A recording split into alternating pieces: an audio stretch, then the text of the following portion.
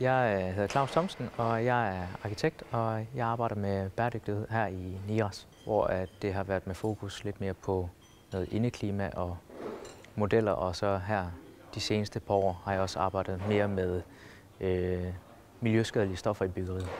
Hvis man gerne vil arbejde med bæredygtighed som, som arkitekt, hvad man kan gøre, det er jo et at øh, videreuddanne sig inden for nogle kurser, der har med certificeringer.